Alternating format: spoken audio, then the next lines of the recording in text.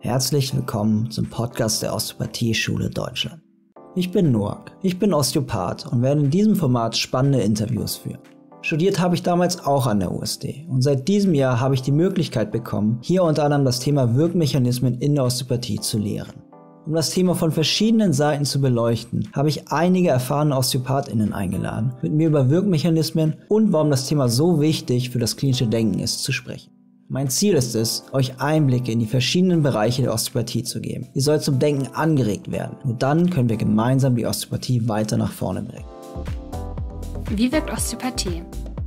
Der Podcast der Osteopathieschule Deutschland. In diesem ersten Gespräch habe ich mit Tobias Dobler gesprochen. Er war viele Jahre Schulleiter der USD in Berlin. Er hat damals Osteopathie in England studiert, später hat er noch einen Doktor in Gesundheitswissenschaften in Amerika gemacht. Neben seiner Tätigkeit in der Praxis hat er lange unterrichtet und war an mehreren Fachbüchern und Artikeln beteiligt. Wir haben darüber gesprochen, warum es so wichtig für das klinische Denken ist, über Wirkmechanismen nachzudenken. Außerdem waren typische Fehlschüsse des klinischen Denkens und wie man es verbessern kann ein zentrales Thema. Ich habe vieles gelernt und deswegen wünsche ich euch jetzt viel Spaß mit dem Interview.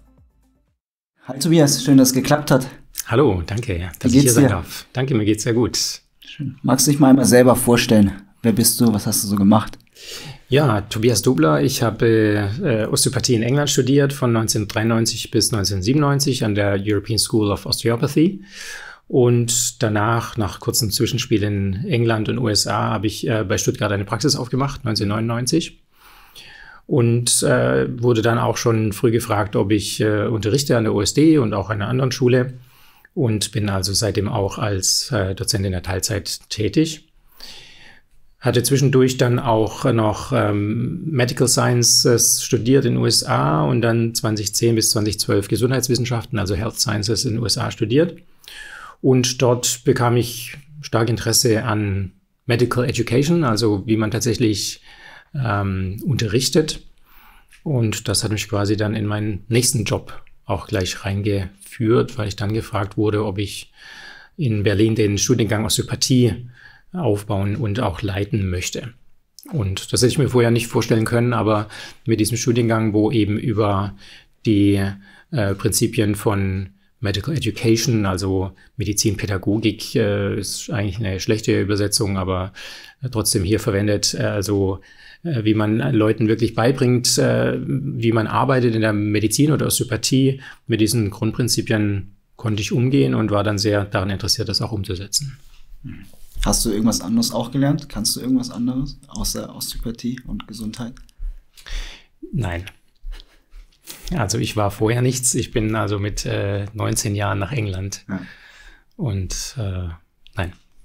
Wie ist der Unterschied zwischen, ohne jetzt zu tief da reinzugehen, mit der Ausbildung in England vergleichsweise zu Deutschland? Ich meine, ja, jetzt äh, die, der Studiengang Osteopathie in Deutschland in Vollzeit äh, entspricht schon in vielen Teilen den äh, Anteilen in England, insbesondere eben der Anteil der Lehrpraxis. Das war eben in England ähm, schon seit vielen Jahren und Jahrzehnten verankert in der Ausbildung und dann im Studium in England.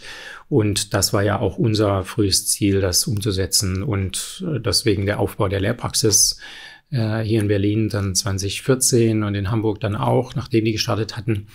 Und das ist aus meiner Sicht auch wirklich der, das Schlüsselelement, wodurch man wirklich das lernt. Und darüber auch dann tatsächlich die Vertiefung mit dem Thema, über das wir hier sprechen wollen, eben das Clinical Reasoning oder klinische Denken und Entscheidungsfindung, weil man einfach beobachten konnte, was findet statt. Das heißt, ich persönlich unterrichte Themen, und stelle nachher fest, dass die Leute es nicht verstanden haben, weil es in der Lehrpraxis nicht umgesetzt wird, weil es nicht verstanden wurde oder aus anderen Gründen. Und da dran zu bleiben und nicht grundsätzlich zu sagen, die Leute sind eben zu blöd oder auch die Ausrede, naja, das muss man 10, 15 Jahre machen, bis man das alles versteht. Nein, sondern immer weiter zu bohren und zu sagen, woran liegt das? Was ist in der Lehre tatsächlich, was fehlt in der Lehre? sodass äh, Leute das nicht wirklich umsetzen können. Es ist trotzdem sehr interessant, jetzt auch in diesem Bereich dann in der Medizin, wo das ja auch erstmal herkommt und aus der Psychologie, äh, nachzulesen, dass die sehr ähnliche Probleme haben, wirklich diese Themen an die Studierenden heranzubekommen. Das heißt, das wirklich klinische Denken äh, zu übertragen, also dass das Leute, die das können, Leuten weitergeben, die es noch nicht können, ist kein einfacher Prozess. Mhm.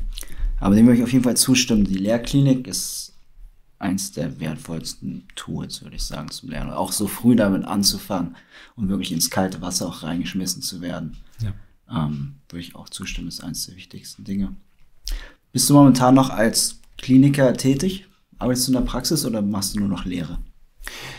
Also ich hatte eben von 2012 an die Vollzeit in Berlin äh, geleitet und hatte mich jetzt dieses Jahr entschieden aufzuhören und habe den Job quasi weitergegeben und arbeite jetzt wieder äh, knapp drei Tage in der Praxis äh, und mache den Rest eben äh, der Zeit äh, Arbeit für die OSD, aber dann nicht mehr nur für die Vollzeit, sondern auch für Teilzeit und Ausland und äh, Dinge wie äh, Skriptentwicklung oder vielleicht auch ein Podcast. das heißt, hier weiterzukommen und in der USD mitzuwirken im akademischen und im Qualitätsbereich ist dann mein weiterer Job. Aber ich bin wieder an Patienten und habe auch wieder sehr große Freude daran. Was gefällt dir an der Arbeit mit Patientinnen? Was macht es für dich aus, als Osteopath zu arbeiten? Ja, also ich hatte von Anfang an eben immer das Ziel, mit Menschen zu arbeiten in meinem Leben. Das war jetzt auch während des Studiengangs möglich. Ähm, es macht einfach Freude, Leuten weiterzuhelfen, wenn man es kann. Und äh, weiterhelfen, wenn man es kann, bedeutet für mich eben nicht nur, dass ich persönlich weiterhelfe, sondern dass ich eben auch die Möglichkeiten der Hilfe aufzeigen kann. Das heißt auch Leute weiterleiten kann und nicht nur die Arbeit selber erledige und nachher als äh, Heiler, Retter oder sonst irgendwas dastehe, sondern dass ich Leute begleiten kann, das macht mir sehr große Freude. Mhm.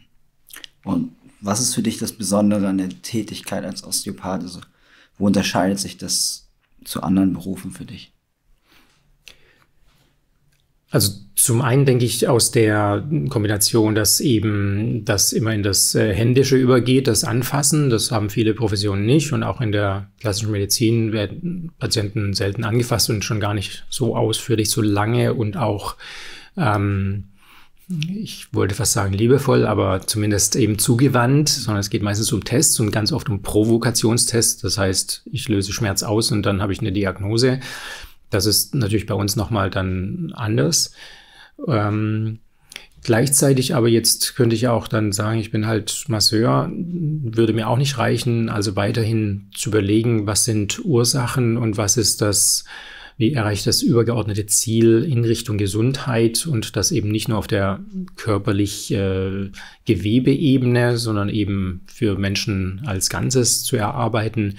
Dazu gehört natürlich auch nochmal sehr viel. Und das, denke ich, kann die Osteopathie sehr gut verbinden, weil sie eigentlich offen ist für verschiedenste Wege. Und das sehe ich schon auch als ein wichtiges äh, Prinzip der Osteopathie, offen zu sein für Neues mhm. und wäre eben für mich auch wichtig, offen sein, Altes auch mal ruhen zu lassen. Das ist, denke ich, da haben viele von uns auch Schwierigkeiten mit. Schön, ja, jetzt hast du gerade schon angesprochen, denken, überlegen, was wir da machen. Das ist das Thema, wo wir heute sprechen wollen. Klinisches Denken, Clinical Reasoning. Du hattest mich ja gefragt, ob ich irgendwie einen Kurs mir vorstellen könnte, über Wirkmechanismen zu halten. Und weil du das wahrscheinlich für wichtig erachtest, für das Clinical Reasoning eventuell auch. Magst du ein bisschen reingehen, warum du das wichtig findest? Warum sollten wir darüber denken, über Wirkmechanismen? Also natürlich wollen wir Wirkung haben. Das ist das Ziel unserer ganzen Mühen. Und wir behaupten, wir haben Wirkung. Also wir interpretieren auch alles in diese Richtung. Also wie gerade kurz äh, vorher von dir auch erwähnt. Also sobald Patienten zurückkommen und sagen, es geht mir besser, seit der letzten Behandlung gehen wir davon aus, dass wir das waren. Egal, ob sie da zwischendurch vielleicht auch nochmal 15 neue Übungen gemacht haben oder auch Tabletten geschluckt haben. Wenn sie es uns dann erzählen, dann können wir vielleicht selbstkritisch sagen, vielleicht war ich es doch nicht alleine, aber wir interpretieren das gerne auf uns selbst. Von daher, wir behaupten, wir haben Wirkung. Und wir wollen daran gemessen werden, dass wir Wirkung haben. Wir wollen wahrgenommen werden als Leute, die Wirkung haben von den Patienten, natürlich, weil die uns auch bezahlen als erstes. Im Gesundheitswesen wollen wir auch natürlich äh, den anderen Wissenden im Gesundheitswesen beweisen, dass wir was können, was wissen und was bewirken. Der Konkurrenz wollen wir es zeigen, den Krankenkassen, der Politik, äh, vielleicht sogar, dass äh, wir vielleicht äh, hochgehoben werden auf ein neues Level, das jetzt endlich zeigt, die Osteopathie ist anerkannt. Deswegen, wir wollen wirken und wir wollen es im Bestfall auch beweisen. Und ähm, mein Argument, was ich schon seit langem eben äh, sage, wenn wir uns nicht selbst damit beschäftigen, mit unserer Wirkung und mit unseren Modellen und unserem Denken, werden es andere für uns tun. Und die anderen werden nicht immer unbedingt das tun, um uns zu unterstützen, sondern unter Umständen auch, um uns loszuwerden. Von daher denke ich, sollte das innerhalb der Osteopathie starten und wir sollten ohne Angst in diese Themen rein und uns auf den Weg machen, zu schauen, wie wirken wir und wo nicht. Mhm. Und eben diesen zweiten Teil eben müssen wir genauso betrachten und nicht immer nur suchen, wo wirken wir. Und wenn wir es noch nicht bewiesen haben, sagen, ja gut, es gibt halt vielleicht noch nicht die Wege, es zu beweisen, sondern auch an bestimmten Punkt zu sagen, jetzt lassen wir das ruhen und können auch gerne mal schreiben, folgende Technik oder Techniken brauchen wir jetzt nicht unbedingt. Weitermachen. Zumindest nicht mit diesem Ziel. Wir können manchmal Techniken umwandeln und mit einem anderen Ziel weiterverwenden, aber wir sollten offen sein dafür, auch Dinge loszulassen. Ja, genau. Ne? Also einmal, wo wirken wir und auch wie. Ne? Also gleiche Technik, wie du gerade gesagt hast, können auf verschiedene Weisen wirken. Darüber nachzudenken führt dazu, dass wir eventuell klinisch anders handeln und halt andere Gründe finden, warum wir handeln. Und das ist ja eigentlich das große Thema Clinical Reasoning. Magst du es ein bisschen erläutern? Was bedeutet Clinical Reasoning? Wir verwenden hier englische Wörter jetzt. Ja, äh, Clinical, also natürlich klinisch Reasoning ist die Übersetzung schwierig, also das, das Nachdenken, aber ich würde immer gerne das ersetzen durch äh, die Denk das Denken und die Entscheidungsfindung oder Denkprozesse und Entscheidungsprozesse, äh, die wir eben äh, haben.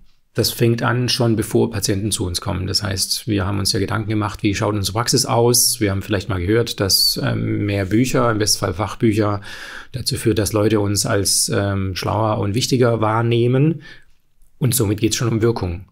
Das heißt, wir machen uns sehr schnell Gedanken über Wirkung, nämlich ist dieses Bild geeignet, ist äh, die Situation mit der Behandlungsbank für die Patienten angenehm weil wir eine Wirkung haben damit. Das mag vordergründig sein, dass wir sagen, die Leute sollen sich wohlfühlen oder auch ich will mich in meiner Praxis wohlfühlen, aber letztlich geht es immer um den Erfolg, weil wir würden letztlich nicht sagen, ich richte es genauso ein, dass ich mich wohlfühle, wenn es nicht dazu führen würde, dass wir dann nachher Geld überwiesen bekommen für die Behandlung. Weil wohlfühlen tun wir uns auch zu Hause, aber dort behandeln wir die Patienten ja nicht.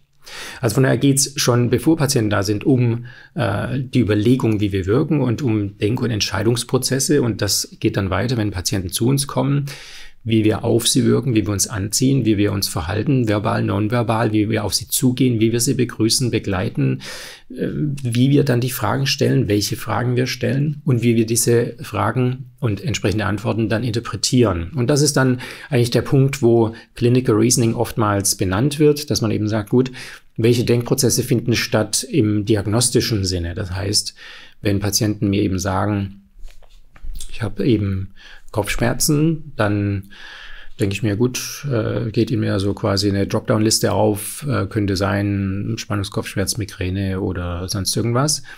Wenn dann Patienten erwähnen und ich bin gestolpert und hingefallen, dann geht die Klappe auf, okay, Trauma und äh, irgendwelche Blutungen vielleicht.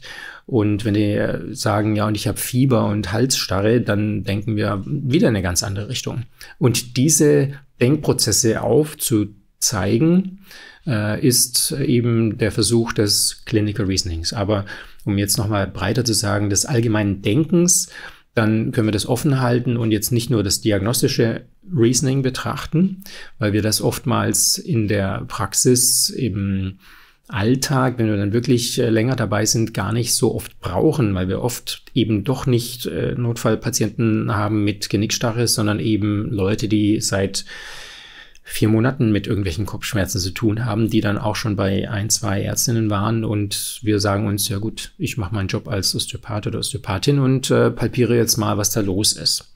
Von daher brauchen wir diese diagnostischen Anteile nicht unbedingt immer, aber wir müssen darüber reden, weil ich denke, da ist letztlich äh, die Basis dessen, wie wir denken und arbeiten, weil es so auch an uns herangetragen wurde und wir das ja weiterführen, was wir äh, unterrichtet bekommen haben.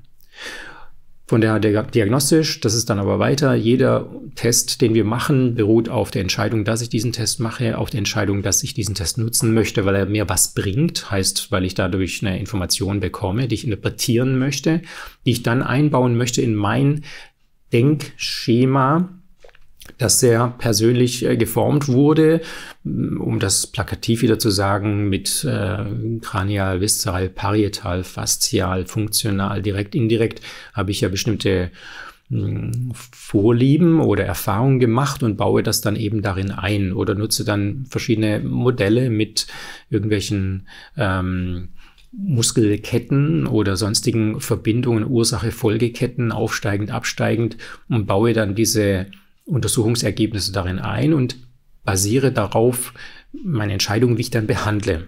Und dann geht es weiter, dass ich während der Behandlung dauernd entscheide, ob das, was ich tue, auch erfolgreich ist. Wenn nicht, dann suche ich vielleicht eine andere Technik oder eine Erklärung, warum es nicht gehen kann, was ich tue oder nicht erreichen kann, nämlich ja die Spannung, die Störung, die Einschränkung ist schon zu lange da oder vielleicht ist doch Arthrose mit dabei oder vielleicht ist der Knochen zusammengewachsen etc. Und dann geht es weiter in die mm, Vorausplanung und auch die Prognose. All das sind Denkprozesse und Entscheidungsprozesse. Und das wieder an die Patienten zu übertragen, sind schon wieder Clinical Reasoning und äh, Entscheidungsprozesse, nämlich was sage ich wie. Mhm. Da kommen wir dann in Richtung, ähm, schon die ganze Zeit war hier natürlich äh, möglicherweise ein Placebo am Wirken.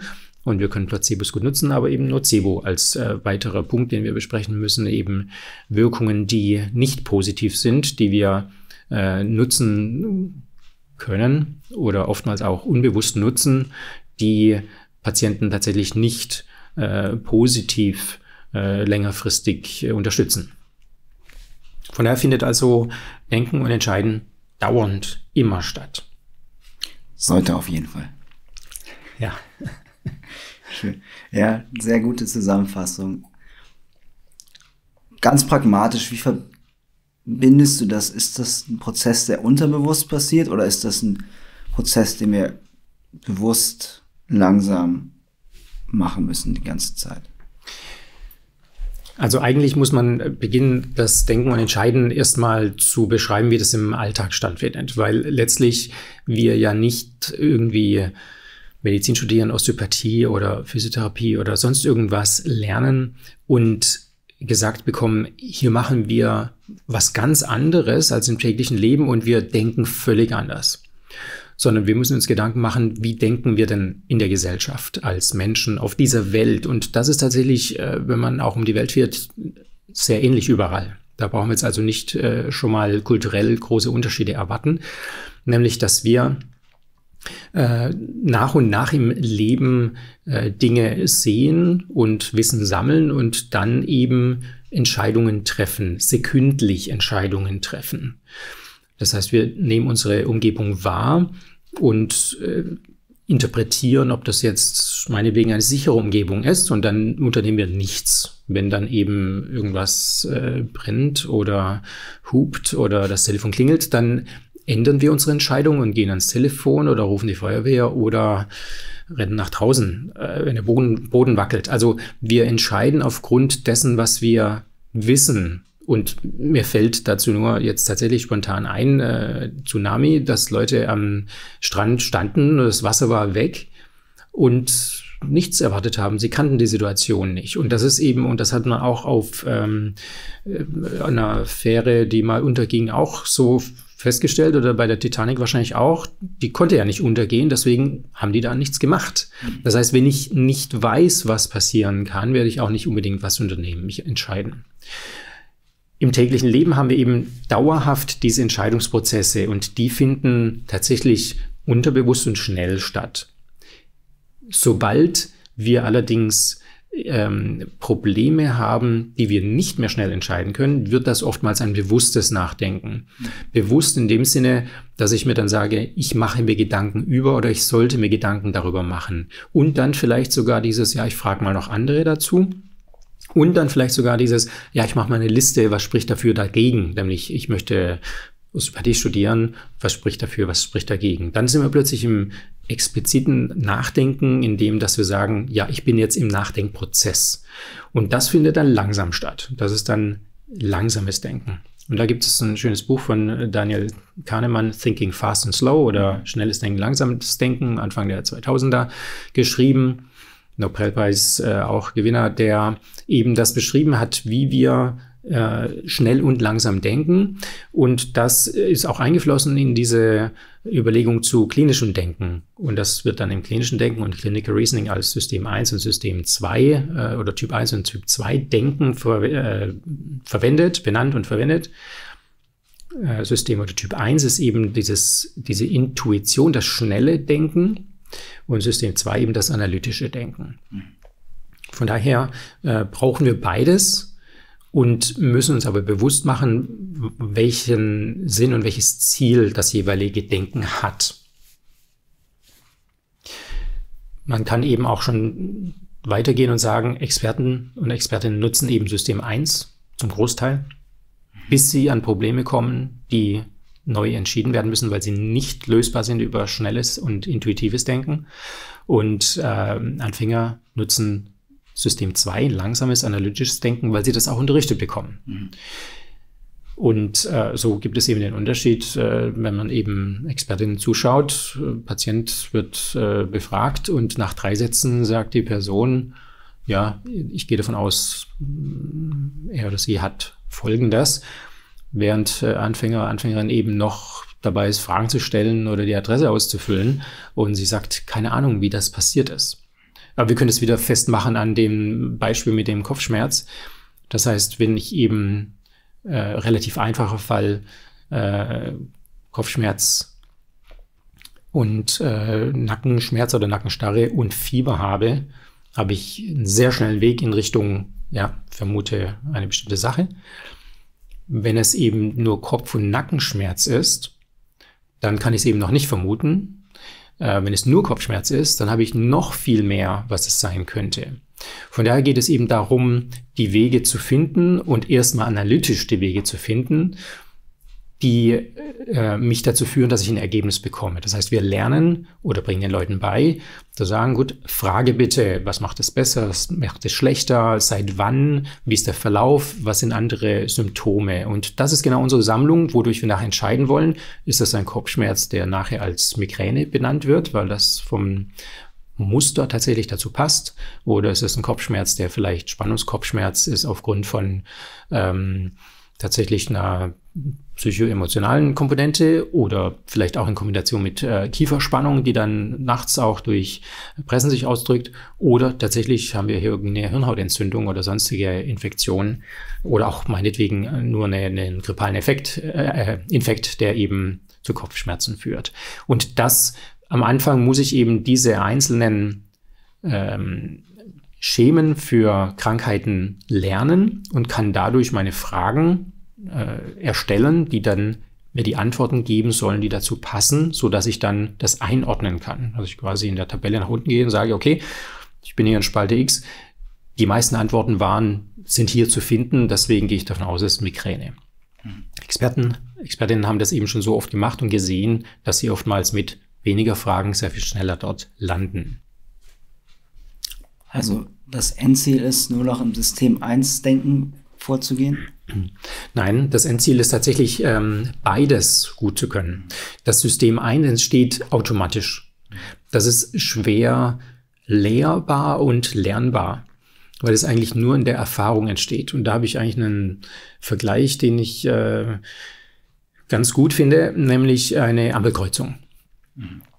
Das heißt, wir wachsen auf und lernen vielleicht über Ampeln und Rot und Grün und du darfst nur bei Grün gehen und bei Rot bleibst du stehen. Aber dadurch haben wir jetzt wirklich nicht die Ampelkreuzung verstanden, sondern wir wissen halt, wann wir gehen und wann nicht. Und wir kennen alle Leute, die bei Grün einfach losgehen und noch nicht mal mehr schauen, weil sie nicht weiterdenken. Dann geht man vielleicht zur Fahrschule und lernt die Regeln mit den Ampeln nochmal genauer und äh, fährt dann eben in die Stadt und kommt an eine Kreuzung, bei der es eben sowohl Autos als auch Fußgänger gibt. Äh, Fußgänger, die die Knöpfe drücken können und eine Straßenbahn, die periodisch vorbeikommt. Und dann, wir sprechen von Berlin, gibt es noch Rollerfahrer, die sowieso auf dem Gehweg und teilweise auch nicht fahren und die auch bei Rot zum Teil vielleicht mal gehen und auch vielleicht Fußgänger, die bei Rot gehen. Und das ist eben das echte Leben dann.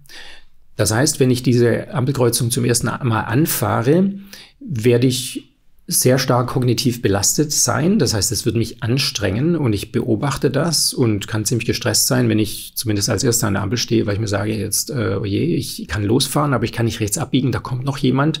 Dann feststelle, dass von der anderen Seite noch ein Rollerfahrer kommt und dass, obwohl es rot ist, nochmal jemand losgeht. Wenn ich diese Ampel aber dann immer wieder anfahre, werde ich irgendwann diese Muster tatsächlich abspeichern und sagen, kommt keine Straßenbahn. Das heißt, die Ampelschaltung bleibt klassisch, nachdem hier drüben rot war, wird es hier drüben äh, grün war, wird es jetzt hier bald grün. Oder ich sehe die Ampel, äh, die Straßenbahn herkommen, dann merke ich, okay, jetzt wird noch mal was anders geschaltet. Oder ich sehe einen Fußgänger, der hat jetzt gedrückt, das wird sich ändern, mein Ablauf, den ich sonst kenne, aber er ist mir bekannt, so dass ich dann später einfach naja, blind drüber fahren wäre falsch, aber dass ich ohne kognitive Anstrengung an dieser Ampel stehe und eigentlich das Muster genau kenne und weiß, wenn da jemand steht und gedrückt hat, wenn die Straßenbahn kommt. Wenn die Straßenbahn kommt, ist die Chance höher, dass nochmal jemand bei Rot rüber rennt. Also von daher, das ordne ich alles nachher ein und plötzlich wird diese Ampel für mich ein Kinderspiel. Letztlich genau das. Es ist rübergerutscht in mein intuitives Denken. Ich muss nicht mehr mir einzelne Gedanken machen über das, was passiert und analysieren, sondern ich nehme es wahr und weiß, wann mein Punkt ist, an dem ich dann doch losfahre und sicher losfahre. Von daher ist das auch nicht ähm, schlecht als Vergleich, warum das so anstrengend ist zu lernen, auch Medizin zu lernen, weil wir so viele Faktoren haben, die nicht ähm, ja, linear verlaufen letztlich. Weil wir lernen eben in diesem Buch Kopfschmerz, Spannungskopfschmerz oder Migräne hat einen bestimmten äh, Symptomenkomplex und betrifft eine bestimmte Personengruppe und reagiert auf folgende Medikamente vielleicht auch am besten. Und dann kommen Patienten, die sagen mir aber nicht, sie haben Migräne, sondern sie haben, sie haben Kopfschmerzen. Dann muss ich eben diesen Weg erarbeiten, dass ich überhaupt dorthin komme, dass es vielleicht Migräne ist, aber es können halt auch 183 andere Kopfschmerztypen sein. Von daher ist es kognitiv unglaublich anstrengend, erstmal durch dieses Dickicht, diese Ampelkreuzung mit allen Variationen sich durchzuarbeiten. Je öfter ich das habe, desto schneller wird das gehen, desto einfacher wird es sein, weil ich mehr Wissen und mehr Erfahrung habe. Und diese Vernetzung führt dazu, dass ich nachher intuitiv und schnell denken kann. Und birgt die große Gefahr, dass ich zu schnell denke. Das ist eben ein Faktor, der dann ganz klar benannt werden muss, dass ich viel zu schnell zu Antworten komme. Ja, ich hoffe, du hast nie negative Erfahrungen im Berliner Straßenverkehr gemacht. Aber genau wie du schon vorher angesprochen hast, was ist denn das, wo ist denn die Gefahr, zu schnell Muster erkennen zu wollen? Also die Gefahr ist ähm, in der Osteopathie nicht ganz so hoch wie jetzt äh, in der Notfallmedizin, wo es um Leben und Tod geht, wo eben, wenn ich äh, zu schnell entscheide, ja, das ist eine klassische Migräne, dabei ist es halt eine Hirnblutung, dann habe ich vielleicht was Wichtiges übersehen. In der Osteopathie, denke ich, äh, sind wir relativ entspannt im täglichen Leben, weil so viele Leute eben doch schon im Gesundheitssystem unterwegs waren, bevor sie zu uns kamen und ich dadurch schon mal so ein bisschen eine innere Ruhe habe. Ich bin ja nicht der oder die Einzige. Die Gefahr entsteht, wenn ich trotzdem dann Patienten mm, in dem Moment äh, falsch behandle und Sachen übersehe, die doch wichtig sein könnten, da sprechen wir ganz oft eben dann doch wieder über irgendwelche Blutungen oder Verletzungen der Halsarterien oder vielleicht auch mal ein Aortenaneurysmus oder solche kritischen Sachen, die vielleicht von uns in der Therapie verschlimmert werden könnten oder vielleicht mal Osteoporose mit einem Knochen, der nicht mehr ganz so stabil ist, auf dem ich dann nachher feste Mobilisation vornehme oder Bindegewebserkrankungen und ich mache FDM. Also von daher, ja, gibt es gewisse Gefahrensituationen. Aber es geht, glaube ich, eher darum, dass Patienten dann eben nicht gut und richtig behandelt werden und letztlich äh, sich in unserer Praxis befinden und nicht unbedingt weiterkommen.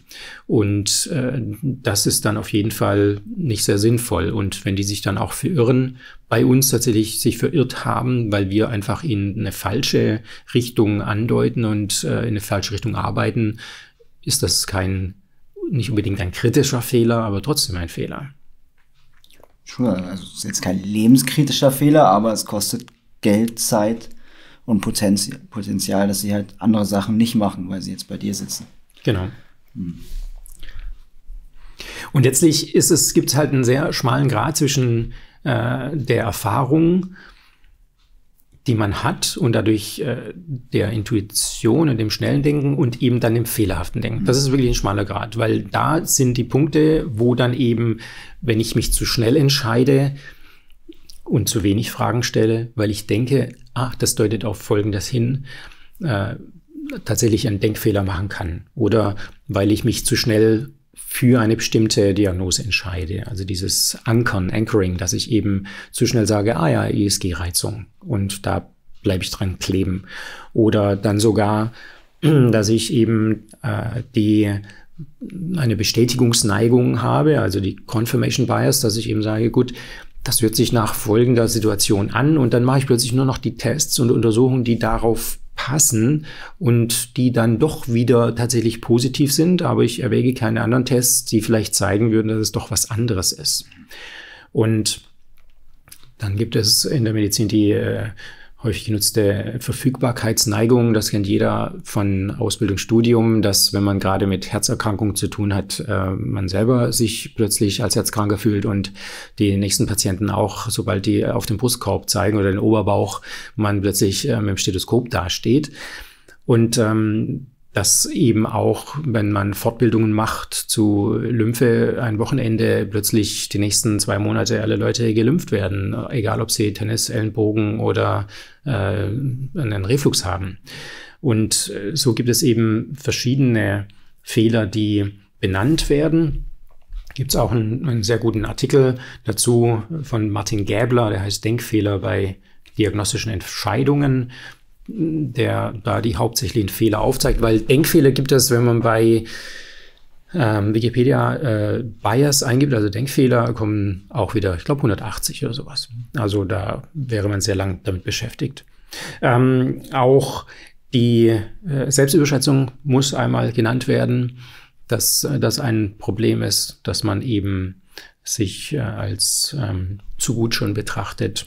Das ist eben auch bei Expertinnen, Experten ein Punkt, der dazu führen kann, dass man dann eben zu schnell und dann auch unter Umständen falsch entscheidet.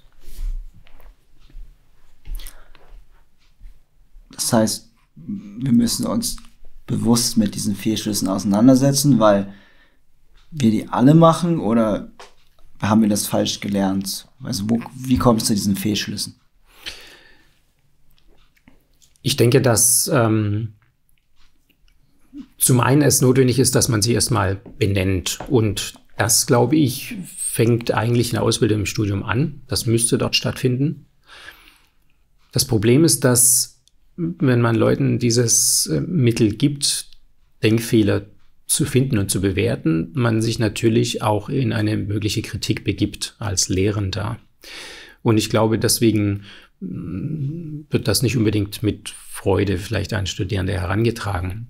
Aber ich denke, wir kommen nicht weiter, wenn wir uns nicht mit den eigenen Denkfehlern beschäftigen. Das heißt, auch hier wieder, wenn ich es nicht selber mache, werden es andere für mich tun. wenn man in der Lehre ist, machen das die anderen für mich. Deswegen ist es besser, ich beschäftige mich selber mit meinem Denken und meinen Denkfehlern.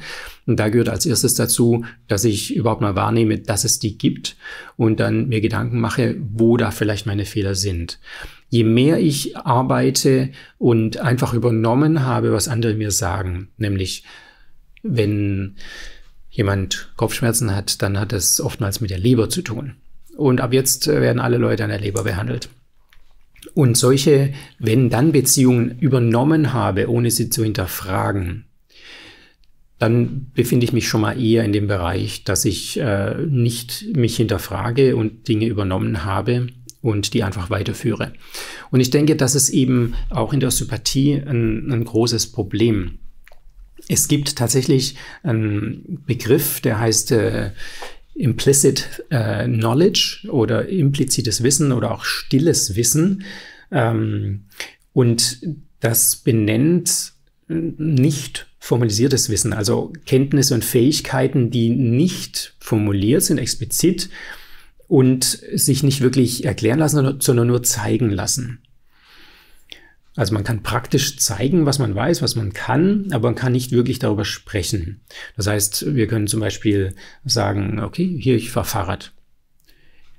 Sag mir mal, wie du das Gleichgewicht auf dem Fahrrad hältst ähm, ja, ich mache halt den Lenker, äh, Lenker nach rechts und links und ich, mit den Pedalen muss ich halt und nicht zu langsam, aber auch nicht zu schnell und nicht zu schnell lenken. Und wenn ein Stein kommt, bitte auch nicht drauf.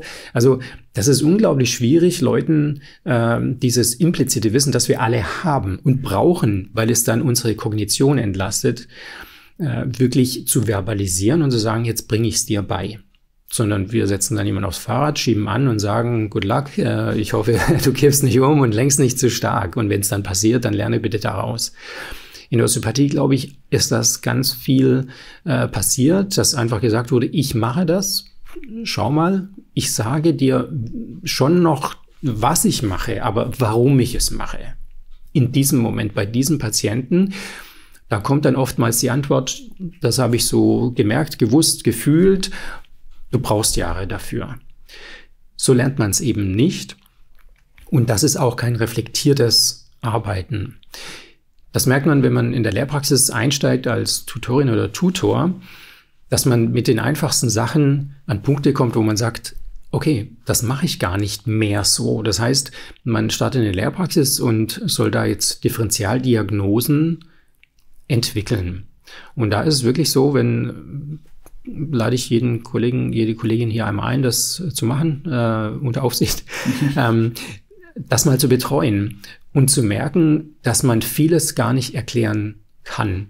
Weil man es auch nicht braucht. Weil in meiner Praxis schaut mir niemand über die Schulter und fragt mich. Ich brauche das nicht. Deswegen, das ist nicht unbedingt äh, praxisrelevant, dass ich Sachen erklären kann. Aber wenn wir darüber sprechen, was machen wir, dann muss ich den Mund aufmachen. Dann kann ich nicht nur sagen, ich mach's eben und ich weiß es eben und es ist Intuition.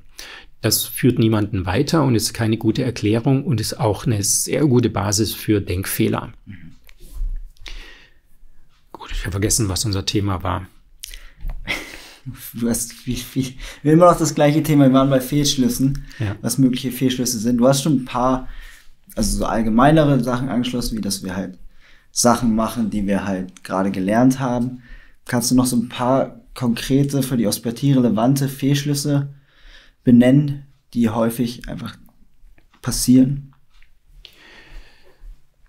Also du hattest das Wenn dann, dass wir da sehr schnelle Verbindungen aufstellen, ohne hinter zu fragen, ne, was sind eigentlich die Wirkmechanismen dafür? Okay, ja. Was sind andere Dinge, die wir häufig noch tun?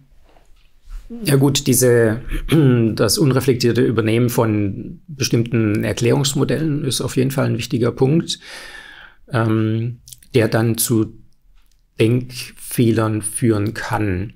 Aber eigentlich ist es kein Denkfehler. Wenn ich ein falsches Modell, nennen wir es jetzt mal, nehme, kann ich ja richtig denken innerhalb dieses falschen Modells. Von daher müssen wir also quasi darüber sprechen, was ist Denken und was ist ein Denkfehler und was sind Modelle, die nicht stimmen, die wir übernommen haben. Und dazu muss man halt sagen, befinden wir uns in der Gesellschaft ganz allgemein mit der Medizin und der Osteopathie eben an einem ganz bestimmten Punkt in der Weltgeschichte. Das heißt, wir können nach hinten schauen und äh, uns Gedanken machen, wie hat das früher stattgefunden. Und wir brauchen nicht so weit zurückschauen, sondern wir schauen einfach mal 40 Jahre zurück und würden tatsächlich über die Art, wie Osteopathie oder auch Medizin eben praktiziert wurde, lächeln oder auch den Kopf schütteln. Das heißt, allein wenn wir jetzt im Bereich von äh, Ethik gehen und sagen, wie wurden denn Leute behandelt, dann sind wir ganz oft auch 40 Jahre zurück noch im patriarchalistischen Modell. Das heißt, dass eben entschieden wurde für Patienten. Die mussten schon noch mal Ja sagen, aber es wurde gesagt, ja, ähm, Herr Müller, ich empfehle Ihnen, dass wir das jetzt operieren. gehen Sie nochmal raus, dann machen Sie einen Termin aus und dann sehen wir uns übernächste Woche. Oder auch nicht, weil sie dann schon betäubt sind. Also es ist ähm, oftmals entschieden worden. Da würden wir jetzt heute sagen, nee, Moment, da will ich mit entscheiden, mein Körper, meine Entscheidung. Da will ich beraten werden, gibt es denn Alternativen etc. Und das ist auch verankert natürlich in der Medizin, man hat dazu gelernt, aber allein schon 40 Jahre zurück wurde anders gearbeitet und mit Sicherheit auch in der Osteopathie. Wenn wir eben äh, noch viele Jahre zurückgehen oder wirklich in ganz andere Kulturen gehen, dann sehen wir, dass es Schamanen gibt, die um Leute tanzen und rasseln, die eine Wirkung haben. Das heißt, die sieht manchmal auch so aus, würde ich sagen. In der Osteopathie auch. Also manchmal rumlaufen. Die Rasseln müssen wir noch bauen und nicht, verkaufen. wir schütteln den Menschen, ist vielleicht ähnlich wie eine Rassel. wir schütteln, genau, Oszillation. genau. Manchmal klappert es auch. Gut, jedenfalls gehört zu diesem Schamanen ein Patient, der tatsächlich erwartet und glaubt, dass das funktioniert. Sonst klappt es nicht. Ich habe die äh, tatsächlich ähm, immer noch nicht gefunden, wo das genau steht, aber ich habe mal gehört, dass tatsächlich, wenn ein Schamane ins Nachbardorf ginge, dass es dort schon nicht mehr funktionieren würde.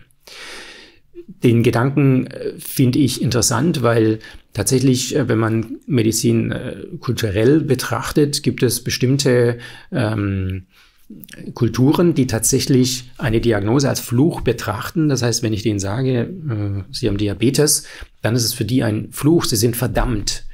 Und äh, da müssen die Leute, die mit diesen Kulturen zu tun haben, darauf sensibilisiert werden und damit richtig umgehen. Aber wir brauchen nicht so weit gehen, sondern das findet ja bei uns auch statt. Sie haben Arthrose, Sie haben Abnutzung, Sie haben dies, Sie haben jenes, Sie haben auch plakative Darstellungen, die sehr unterschiedlich, wie wir wissen, Wirkung haben können und äh, Wirkung im Körper haben können. Das heißt, wir alle wissen, dass manche Arthrose kaum spürbar ist und andere kaum sichtbare Arthrose sehr starke Schmerzen bewirkt.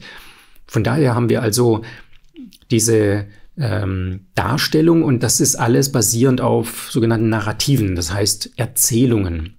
Und so befinden wir uns eben auch momentan in einer bestimmten Erzählung der Geschichte. Das heißt, Patienten bekommen auch bestimmte Sachen erzählt von uns und von anderen, von Medien, von der Gesellschaft, von den Nachbarn. Wie zum Beispiel, wenn du krank bist, musst du zum Arzt.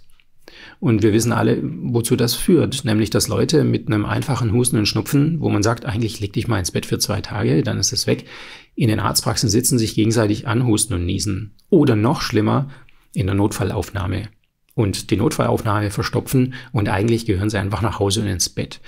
Aber das kommt ja aus einer gewissen Erwartung und aus einer Geschichte heraus. Und von daher müssen wir uns immer im Rahmen einer Geschichte sehen, in der wir Teil sind und, und ein Schauspieler sind quasi innerhalb dieser Geschichte. Und wenn wir das einfach mal so aufmachen und eben uns nicht am Ende einer Geschichte sind, sondern mittendrin, dann müssen wir auch wahrnehmen und mitnehmen, dass man in 20 und 30 Jahren vielleicht auch über uns lächeln wird. Und das dürfen die auch. Wir momentan müssen damit aber so umgehen, dass wir sagen, lasst uns überlegen, was tun wir, was können wir besser tun, was können wir anders tun. Und dazu gehört eben zu überlegen, welche Narrative, welche Geschichten habe ich gehört, habe ich übernommen, nehme ich als die Wahrheit hin und sollte diese aber mal überdenken. Und dazu gehört eben in der Sympathie auch ganz viel Geschichtenerzählung. Narrative, Modelle nennen wir sie. Das klingt äh, ein bisschen technischer und ein bisschen präziser. Aber das sind alles Erzählungen. Die Erzählung, wenn ich auf diese Faszie lang genug drücke, dann wird die weich und dann geht es dem Patienten besser. Wenn ich dieses Organ oft genug nach links und rechts mobilisiere, wird die Gleitebene ähm, auch mobilisiert. Dadurch wird die Durchblutung und Drainage angeregt und der Nerv kann besser das Organ wieder versorgen und dadurch wird sich das legen. Das sind alles Narrative. Damit will ich nicht sagen, das sind Lügen, sondern das sind Geschichten, die aber direkt am Patient ja nicht nachweisbar sind. Das macht es eben auch so schwierig. Wir können jetzt natürlich wieder sagen, ja, und deswegen müssen wir Forschung machen und deswegen müssen wir dies und jenes unternehmen. Das denke ich ist alles wichtig. Aber da ist immer der Punkt mit der Individualität, der mich daran stört, dass tatsächlich man das nie über einen Kamm scheren kann, was Leute an Beschwerden haben und deswegen tatsächlich die Bewertung aus meiner Sicht äh, mit statistischen Methoden immer sehr schwierig bleiben wird und man das Kind eben nicht mit der Bade ausschütten darf, nämlich ähm, irgendwelche generellen Statistiken aufstellt und sagt, ach so, und deswegen machen wir folgende Sachen nicht mehr. Klinisch sehen wir eben häufig doch noch eine gute Wirkung von Techniken, wo zum Teil gesagt wird, das kann keine Wirkung haben. Da bin ich weiterhin sehr offen dafür, dass es äh, noch weitergehen muss, auch was Wirkmechanismen angeht, wir noch nicht am Ende sind, äh, herauszufinden, was wirklich passiert. Diese Narrative haben wir übernommen und die übertragen wir auf Patienten und dann sind wir schon wieder bei Placebo-Nocebo. Das heißt, meine Wirkung am Patienten. Weil je nachdem, wie ich dieses Narrativ, diese Geschichte auf Patienten übertrage, ich natürlich eine Wirkung habe. Und da wissen wir alle, und das kann man statistisch nachweisen, dass Leute, die überzeugt sind, eine deutlich bessere Wirkung haben als Leute, die nicht überzeugt sind. Das kennen wir auch aus vielleicht unserer eigenen äh, Geschichte heraus. Wir haben äh, was gelernt und machen eigentlich genau dasselbe wie dieser, äh, diese berühmte Osteopathin, äh, die dafür so viel Geld nimmt. Es funktioniert aber nicht. Ja, weil wir so viele Wirkmechanismen haben, diese Expertin, die ich, als Anfänger eben nicht habe. Allein schon, wie überzeugt bin ich und wie übertrage ich diese Überzeugung auf Patientinnen. Und wie viel Geld nehme ich pro Stunde? Genau, das ist auf jeden Fall ein wichtiger Punkt. Äh, das muss natürlich teuer sein. Wie messen wir denn Erfolg in der Osteopathie? Ich weiß noch, damals, als ich in der Lehrklinik war, hatte ich irgendeine Diskussion mit einer Tutorin. Ich weiß nicht mehr, worum es ging, aber quasi das Argument war, sie war, hatte recht, weil sie eine volle Praxis hatte. Ist das ein valides Argument, um zu beurteilen, wer jetzt recht hat? Nein und ja. Also, ähm, das ist letztlich, äh, der Spruch ist ja allgemeiner, eben wer heilt, hat recht. Und ich denke, das ähm, ist prinzipiell schon richtig, dass wir danach schauen sollte, wer oder was hilft und die Methode in sich nicht die Lösung ist. Weil wir das ja bei Medikamenten genauso nacharbeiten ähm, können, dass je nachdem, wer dieses Medikament gibt, eine unterschiedliche Wirkung entsteht. Und in der Placebo-Forschung das ja auch so weit ist, dass man eben selbst ähm, Opioide geben kann und je nachdem, welche Vorinformationen man gibt, diese mehr, weniger oder gar nicht wirken.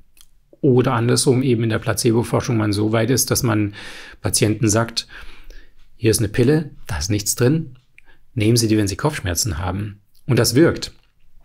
Das heißt, da müssen wir ein Stück weit weg von dem Wirkmechanismus einer Pille, einem Inhaltsstoff, selbst eines äh, wirklich chemischen Mittels, wo wir denken, das kann man doch nachweisen biochemisch, welche Interaktionen da in der Zelle, am Nerv irgendwo stattfinden, müssen wir wissen, dass da sehr viel mehr stattfindet. Von daher könnte man jetzt also auch allgemeinmedizinisch sagen, es kommt eben darauf an, was und wie es gemacht wird und nicht auf den einzelnen Wirkmechanismus, der auch bewiesen ist.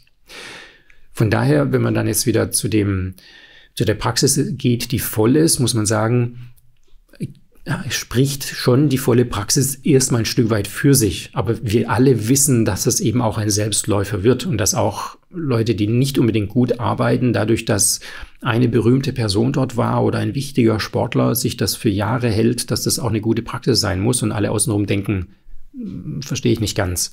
Das heißt, der Ruf hat eine bestimmte Wirkung und generiert eben schon Patienten in sich. Dann müsste man sagen, daran kann man es nicht wirklich messen. Wir müssen dann weiter, wenn es um Messung geht, wirklich sagen, ja, was passiert mit den Leuten? Wie geht's denen wirklich? Und dann sind wir wieder in einem größeren Bereich drin, nämlich was ist denn Gesundheit? Und dann sind wir in einem anderen Narrativ auch schon wieder drin. Auch das ist eine momentane ähm, Definition, die wir eben haben oder übernommen haben. Die Salutogenese ähm, aus, von Antonowski ist erst so in den 80ern entwickelt worden mit dem Ziel, überhaupt Gesundheit zu beschreiben und Wege zur Gesundheit zu beschreiben und eben nicht äh, krankheitsfokussiert zu arbeiten. Und das schreiben wir uns in Osteopathie schon sehr viel länger auf unsere Fahne. Das äh, Gesundheit suchen ist äh, unser Ziel. Krankheit finden kann jeder, kennen wir dieses osteopathische Zitat. Die Frage ist, ob wir das wirklich machen und Gesundheit suchen oder ob wir unsere Wirkung suchen und die Osteopathie beweisen wollen, nenne ich das mal dazu. Weil das sehe ich manchmal so als Problem, dass das Ziel gar nicht unbedingt daran besteht, Patienten weiterzuhelfen, sondern die Osteopathie zu beweisen und mich dadurch auch zu beweisen und zu legitimieren natürlich dadurch auch. Und das ist natürlich nicht wirklich ein langfristiges und übergeordnetes Ziel der Gesundheit. Gesundheit wäre, dass ich verstehe, dass Patienten mich eigentlich nicht brauchen sollten dass ich sie so weit bringe, dass sie nicht mehr zu mir kommen müssen. Nun wissen wir, das Leben ist natürlich komplex genug, dass es wahrscheinlich nie stattfinden wird, dass Leute gesunden und dann nie mehr krank werden. Dazu ist quasi die Ampelkreuzung zu komplex. Aber ähm, das sollte unser Ziel sein. Aber wir fühlen uns geehrt, wenn Patienten wiederkommen. Wenn sie wieder fragen, auch wenn es dasselbe Problem ist, freuen wir uns, dass sie wieder da sind, die Praxis voll ist, sie sich bedanken, dass wir ihnen wieder geholfen haben und wir uns vielleicht gar keinen Gedanken machen zu dem, wie würde ich denn vorgehen müssen, damit die mich loswerden als Therapeuten. Weil natürlich die Gesundheit der Gesellschaft übergeordnet äh, unser Ziel auch sein sollte, nämlich möglichst wenig äh, werden Gesundheitseinrichtungen genutzt, weil es den Leuten besser geht. Aber das sehe ich nicht unbedingt als unser Ziel in der Osteopathie. Das ist oftmals ähm, ein Spruch oder ein, ein, so ein bisschen die Karotte, aber die halten wir überall hin, aber wir geben nicht wirklich äh, die Mittel, um an die Karotte zu kommen. Und da denke ich, müssen wir in Osteopathie auf jeden Fall nochmal viel dran arbeiten und unseren Blick nochmal deutlich verbreitern, auch über den Rand des äh, Manuellen hinaus und über diese ganzen Narrative hinaus, die wir eben in Osteopathie haben. Ja, das ist spannend. Kann ich denn als Kliniker in meine Wirksamkeit überhaupt feststellen? Also da sehe ich schon Mittel, das zu versuchen, ja. Zum einen habe ich tatsächlich immer den Anspruch und äh, erkläre das auch so den Lernenden, dass ich innerhalb der ähm, Therapiesitzung eben eine Veränderung spüren möchte der Gewebe, an denen ich arbeite. Wenn wir jetzt wieder im körperlichen bleiben erstmal.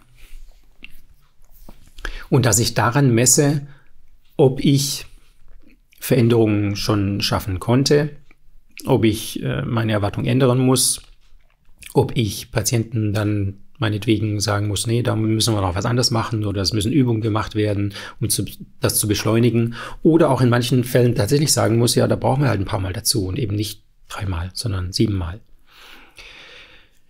Dazu muss man aber ziemlich ähm, selbstkritisch bleiben. Das heißt, nicht grundsätzlich, wenn man eben eine halbe Minute auf irgendeinen Punkt gedrückt hat, davon auszugehen, das hat halt gewirkt. Ich versuche mich da immer wieder auf Null zu stellen und zu sagen, taste wirklich nochmal, ist es wirklich anders? Das ist schwierig und ich weiß es auch nicht, ob es wirklich gelingt, weil ich natürlich schon mit einer gewissen Erwartung an die Technik herangehe. Aber das ist mein Versuch. Nicht davon auszugehen, dass, weil ich drauf gedrückt habe, bewegt habe, mobilisiert habe, gezogen, gedrückt, geschoben, oszilliert, dass es dann anders sein muss.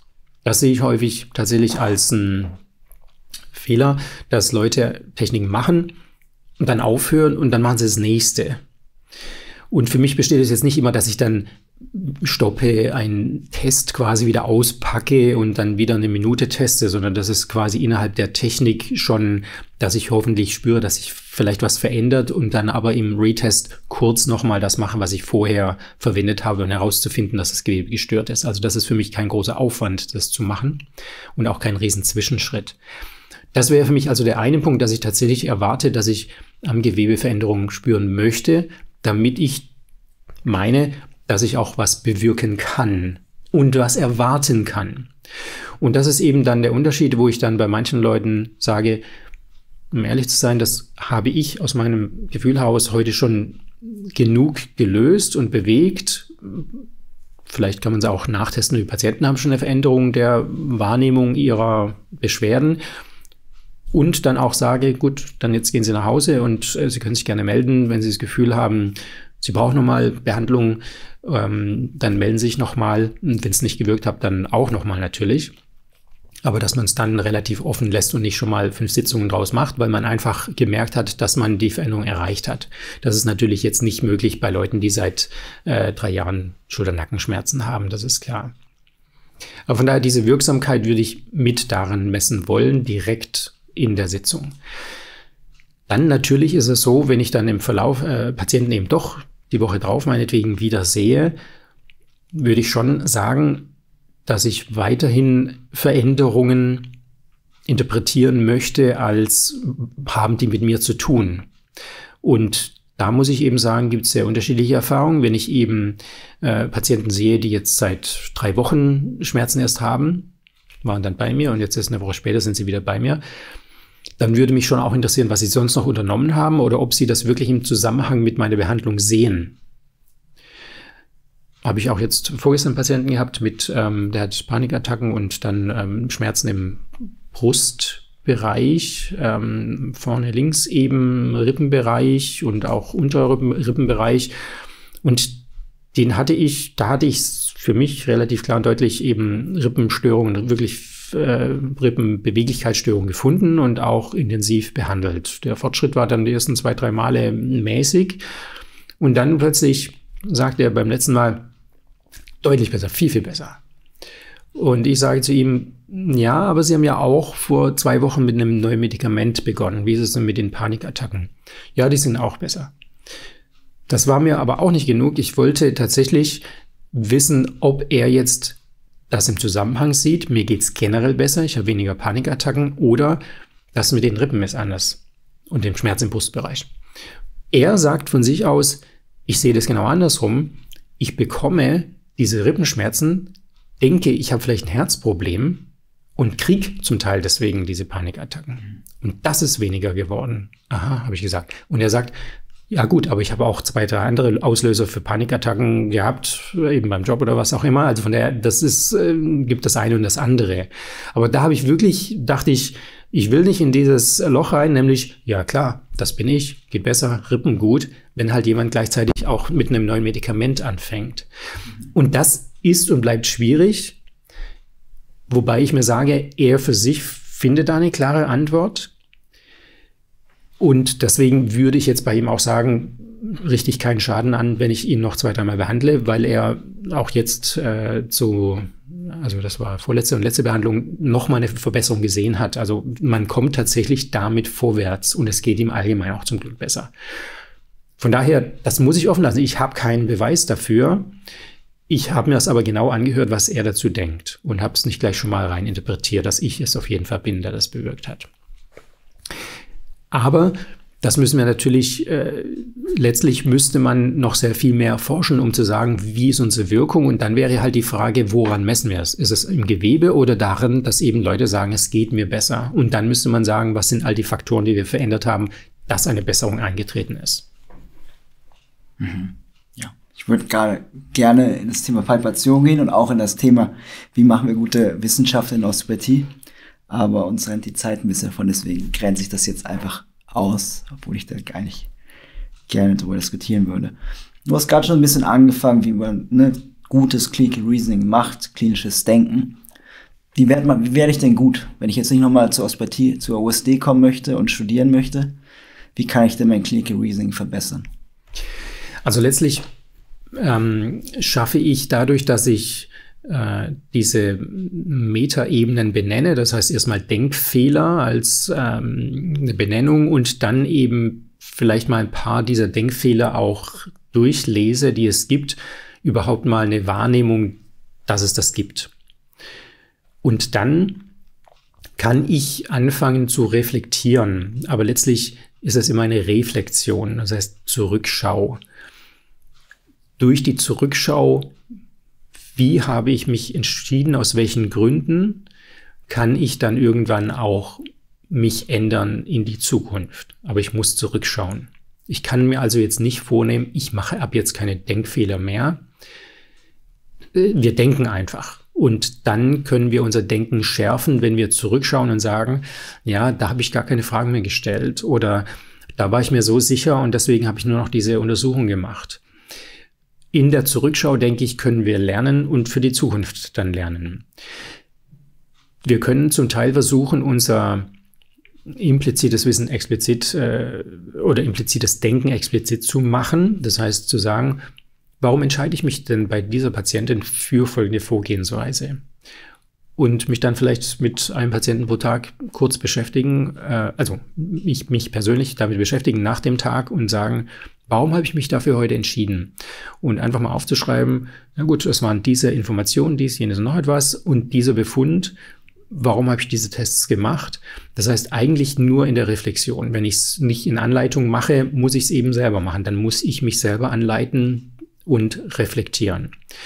Das heißt, ich habe eben diese Denkfehler als eine Möglichkeit, äh, auf die ich eingehen kann und sollte dann aber eben auch über die Muster nachdenken, die ich erarbeitet habe. Also das äh, Muster erkennen ist ja ein wichtiger Punkt, was wir machen, dass wir, dass wir sagen, okay, typisch für medizinisch, typisch für Reflux, typisch für ähm, ähm, äh, Diarrhoe bei äh, Infekt und so weiter.